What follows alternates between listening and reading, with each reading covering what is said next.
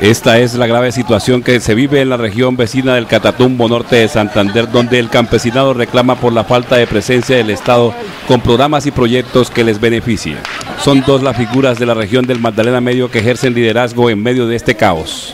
¡Sáquelo! ¡Sáquelo, sáquelo!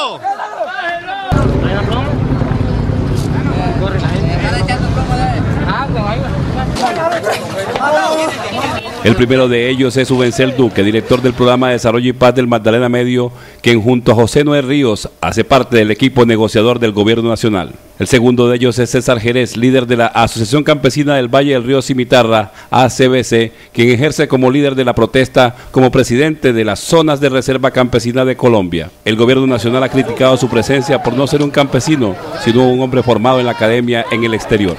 Estas imágenes registradas por la agencia de prensa rural muestran la crudeza de los hechos que se viven en el Catatumbo. ¡Le dieron, le dieron!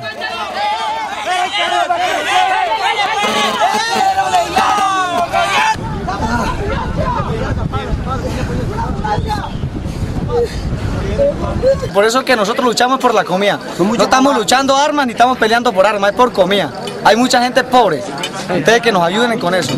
Vale decir que la ACBC ha recibido apoyo del Programa de Desarrollo y Paz del Magdalena Medio. Todo indica que Duque y Jerez son afines ideológicamente, hecho que podría ayudar a superar esta grave crisis a corto plazo.